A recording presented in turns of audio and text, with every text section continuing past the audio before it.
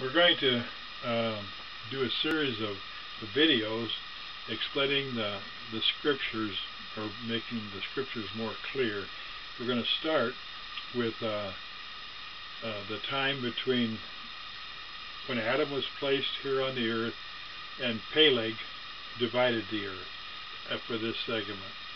Uh, first, I'd like to start with some facts so that we're all on the same page uh, the facts are nothing more than uh, things from the, from the scriptures. First of all, we need to understand who is the God of this world at this time. It's Satan. Satan is the God of this physical world. That's his realm, the physical realm. The tinsel and glitter, the new cars, the new homes, the new clothes, all that stuff. A probation, as mentioned in the scriptures, or immortality, is a time from Adam to Christ, or about 6,000 years. A kingdom, it talks about kingdoms. We are in a kingdom now. We were always in a kingdom. God is in a kingdom. We move from kingdom to kingdom as we grow in light or lose light. A kingdom is nothing but a, a, a part of the eternal law that we can live with that in that particular kingdom. As we move up in kingdoms, we learn more of the eternal law and become more responsible. Kingdoms are just levels of eternal or natural law. There is no place, as Joseph told us in the Doctrine Covenants, no place in the whole universe there isn't a kingdom. Kingdoms are everywhere. There's no space between them. They can, that's part of the eternal law. Next, this is the promised land, the United States of America. Book of Mormon explains that, and Joseph explained it when Adam was brought forth out of the Garden of Eden back in uh, uh, eastward in the land of Eden. The United States was the land of Eden, was, was part of, of Canada. Adam's family lived here in the promised land for 1,657 years before the flood. That's a lot of time, 1,657 years. The, the the royal blood, or Adam, the seed of Most High God, lived here in the Promised Land. This is the inheritance for the sons and daughters of the Most High God, for the royal seed. And this is, uh, at the time of the, the flood, there were several billion people living here in the Promised Land. We had 1,657 years. We ended up with just a remnant. They were so the, the people were so unrighteous that we we lost several billion people. A remnant was saved from the flood by the ark, and they were banished to Babylon. We were banished from the promised land. The coming gathering of Israel will be the house of Israel or the royal blood coming out of Babylon back to this, the promised land, the first inheritance for the royal seed of God.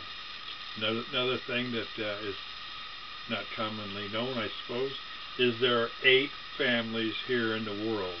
When, when uh, a remnant at the time of Noah was saved from the flood, it wasn't eight people, it was eight families. A remnant of the righteous of eight families were taken to Babylon because God did not lose any of the families of this earth.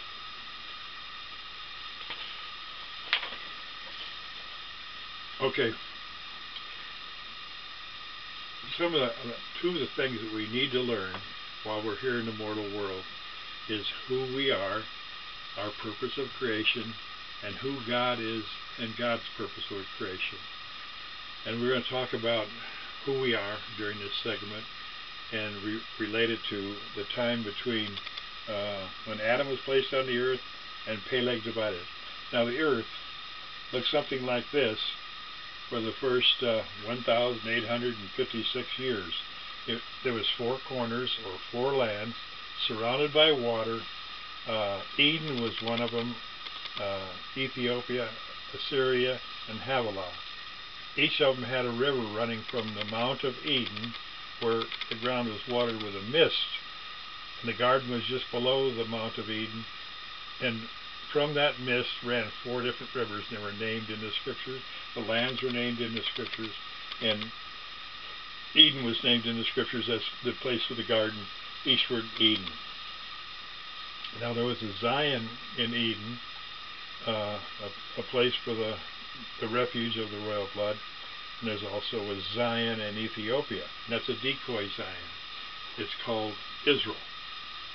Israel is a, is a place for the gathering of the dukes of Esau, not the the, the children of uh, Ish, of uh, Israel.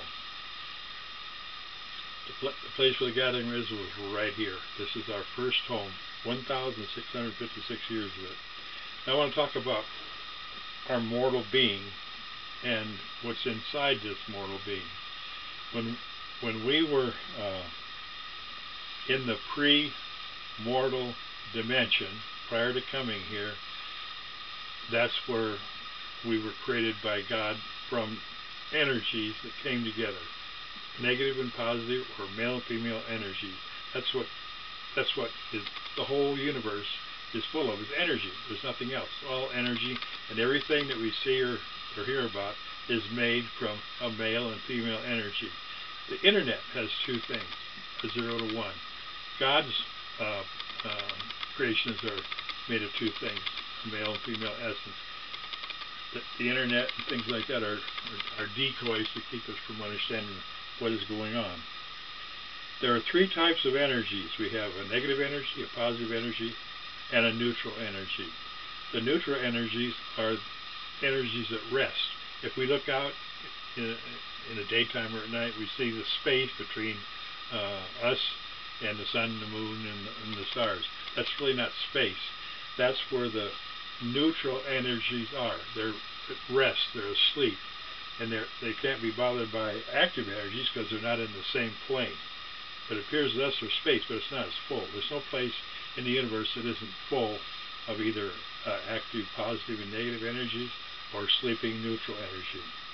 One thing we need to understand is there was no creation as we think about it. The universe has no beginning and thus will have no end. The universe was never created. It's always been. The energies that make up the universe have always been. Now the energies change form because when we're put together, we're, we're made of male and female energies in various combinations, uh, but we're still energy. That's our essence, that's our being, that's our spirit that's within this mortal body. The mortal body is not made of energy, it's made of McDonald's hamburgers, french fries, and pizza. And as thus we have a creation date, whereas the universe doesn't because it's always existed. The creation date is when our immortal father and immortal mother put us together in the form that our essence is now. Now before we came here, before we move from the pre-mortal dimension or existence, because the essence that is us is kind of like a fog, a mist. It's not solid like these bodies or piece of wood.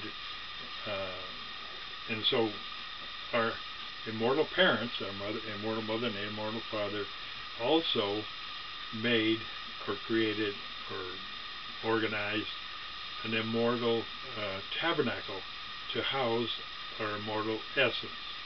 So before we came here, our mortal essence, which came to this, you know, each of these bodies, had also an immortal tabernacle. But when we left the pre-mortal dimension, we had to lay that body down. We laid it down to sleep because it is mortal. It doesn't need uh, food to maintain itself, and it, can, and it can last forever in that state as we can.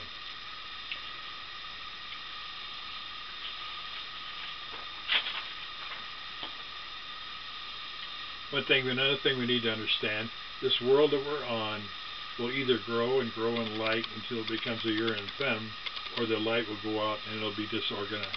The same as for us. The earth is a living thing, the same as we are. All of the things we see in the heavens at night are living things with essences. The stones have an essence.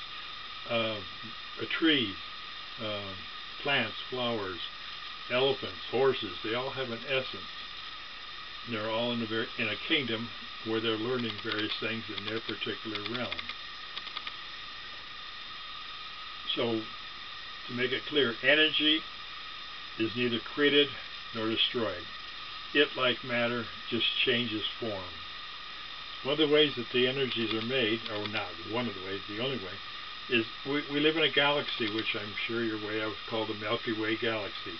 It's basically like two plates, a negative side and a positive side, although both sides have negative and positive, just that one is more prone to the negative than one is more prone to positive. And they're turning, and as they turn, the negative goes by the positive and relieves energy. It doesn't create it because energy is not created. It just relieves the energy that was there. While it does that, it also creates a field, much like our electric motors and electric generators here on Earth. And in that field envelops all the galaxy, and that's what feeds our essence. It doesn't feed it, it's, our essence is part of it. Because our essence doesn't eat, think, doesn't eat.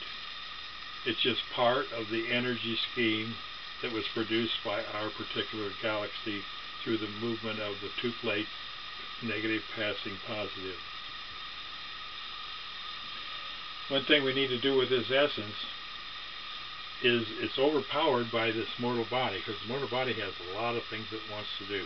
It loves sex, it loves killing things, it loves all kinds of uh, physical things. It likes new cars, new boats, new houses, you know, new clothes, good foods. Um, but we need to learn that the essence is the one that's going to take us through the eternal worlds without end. This mortal body is going to come to an end and go back to the dust from which it came.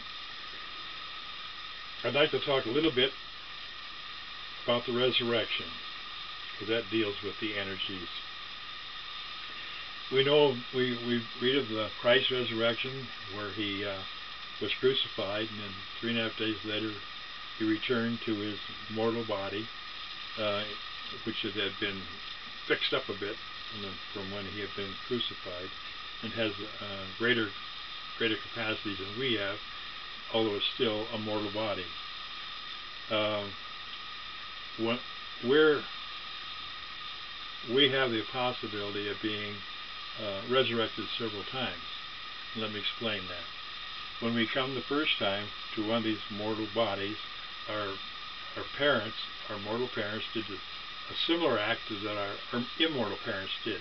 They came together, fertilized the seed. That seed grew into a uh, body inside of the mother, and when it was full term, ready to come, we, the essence that was slated for that particular body, came, and as it emerged from the mother, our essence went into the body. Now that was our, if you could call it a resurrection because we came from a immortal tabernacle and went into a mortal body, a new mortal body. That would be a form of resurrection. Now, if we're here for 10, 20, 30, or 100 years, and we uh, this mortal body dies and goes back to dust, we go to a post post-mortal judgment, and we decide or th that we like to learn more. God allows us, under certain circumstances, to return to an earth through a mortal mother, and the same thing would happen. The essence comes to the body as it emerges from the mother, and that would be a form of the resurrection. So we got a new body. Now the last resurrection that we'll probably experience in this mortal realm or mortal realm is when we uh, finally have come to the point that we are either figure we've learned as much as we can here or we prove that we can't learn anything and we go back and pick up our immortal tabernacle and then we go to our final judgment. That would be a resurrection because we come back into in a uh, mortal tabernacle. And to talk about education here in the mortal world. We have God's uh, law presented to us through the scriptures and through the holy prophets, and we have man's uh, law or man's education given to us through Satan and his boys. Um, if we want to be successful in the moral world, we need to uh, spend every moment learning the, the things of man. And at the end of our 68 or 100 years, we'll probably have a nice car, a nice house, nice clothes, nice family, go to church every Sunday. Uh, but have we succeeded at what we came here for? No, because we just learned what Satan wanted us to learn. If we spend the same amount of time learning the laws of God and living them, we wouldn't need these automobiles because God's law, if you get totally familiar with it, he, God can move from this world to the moon to planet, fish like that. He doesn't need a car, truck, or bus. And if we could spend as much time thinking about those things, then we would be building a, a serious amount of information in our essence. The essence is what is going to take us from this world to other worlds to worlds without end. Remember, this if we if successful, we'll be around for a very, very, very, very, very long time. And what are we going to be doing during that time? We're going to be working with our God, with other worlds and other peoples. The same thing has been happening prior to us coming here. Now, what happens when we spend all our time learning man stuff? We get to the point that we think right is wrong and wrong is right, and that's where we're at today. Uh, that's why the, the, the, the people were wiped out the time of Noah. They got to the point that they thought right is wrong and wrong is right.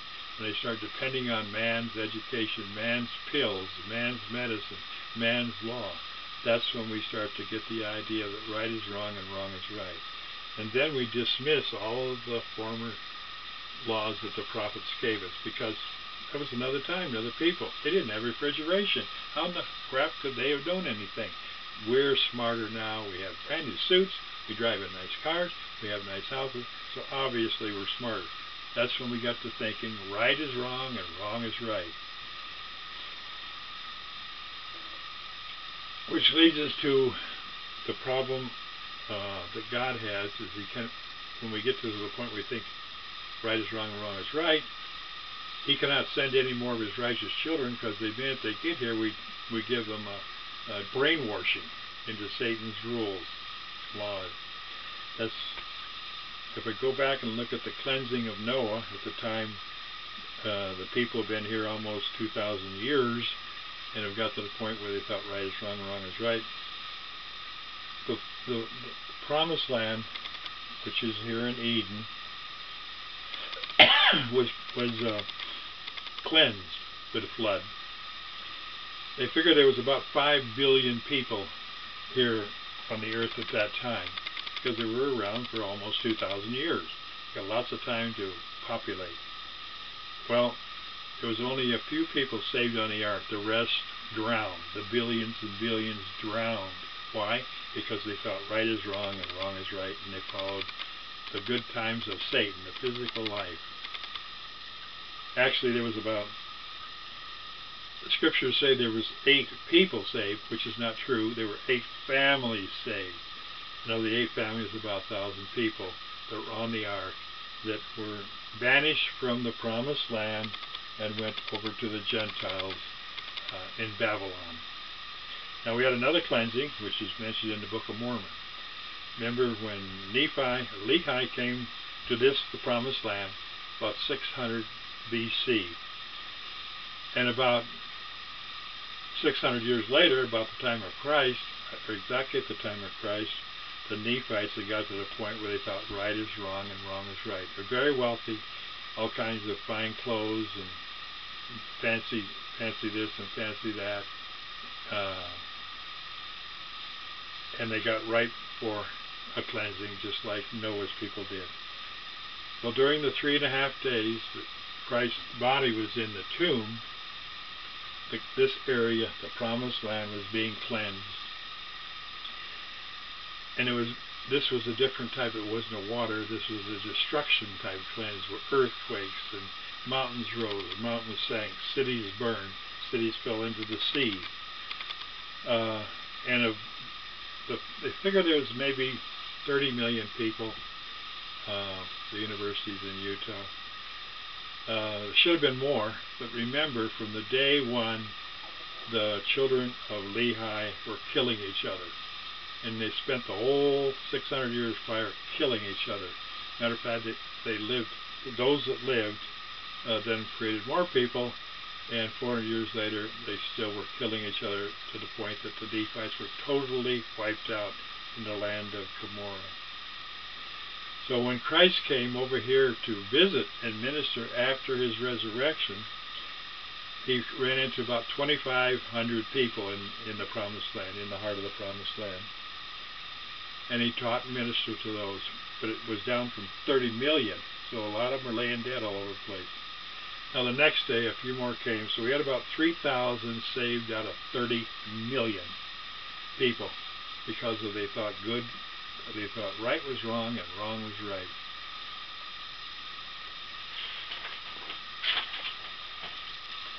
Now getting back to the time of Noah uh, and the land, remember, before Peleg, the land had four pieces, all connected, surrounded by water. There was the land of Eden, the land of Havilah, the land of Assyria, the land of Ethiopia. There was a, a Mount Eden in the center, which was watered with a mist, and that mist turned into four rivers that went to the four lands. Garden of Eden was located just west of the Mount of, of Eden. When, when Noah brought the remnant, righteous remnant from the promised land to the Gentiles, he landed somewhere around in this area here. And uh, the land still looked that way. So, when two, a couple hundred years later, we have a prophet called Peleg and his job was to divide the lands uh, as we kind of as we see them today. Uh, and during it was in about 1800 AG or 1800 years after the garden. That's what Peleg did. He divided the lands. Well, what happens? He also moved them about 90 degrees. The water stayed in one place. The lands moved.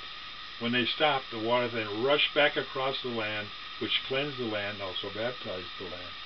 Uh, and and uh, wiped out just about everything except a, uh, a remnant that was saved prior to the, the Nephites, like the remnant of the Nephites. Now, at the same time this moved 90 degrees, it also opened up a conduit to outer space, to, to absolute zero. And we had a part of the land frozen. Now the, the animals and beasts that were in the semi-tropics were then moved immediately because when the land shifted to up to the near the North Pole and the South Pole. And they were instantly frozen because that was the beginning of the Ice Age. About 1800 years after Adam, we had the Ice Age. And we're still seeing the, the recession of the Ice Age. Uh, it's not global warming, it's just the Ice Age receding. I spent a lot of time in Alaska, a lot of time. Dug up lots of the frozen animals that still had stuff in their in their stomachs, green stuff. They were frozen instantly while they were feeding down in the sub, sub uh, tropical type of uh, of uh, environment. We dug up a head of a saber-tooth tiger was almost as big as a small Volkswagen. So going on, that was the beginning of the Ice Age. We're still experiencing today. We think it's global warming. There's nothing more than it. But we do have another thing. We're starting to move back to where we were. Uh, I do a lot of surveying because we do a lot of claim work with the federal government for, for mining claims. And our North Pole, as last time we looked at the topo maps, has moved 17 degrees. We're 17 degrees off. We're about ready to flip again which will happen because all things will be restored as they were during the time of, of Christ's reign here. We'll go back to this situation here from the situation we got now, preparing for another mortality. I'd like to end with this thought. Success mortally is education, home, car, boat, clothes, real estate.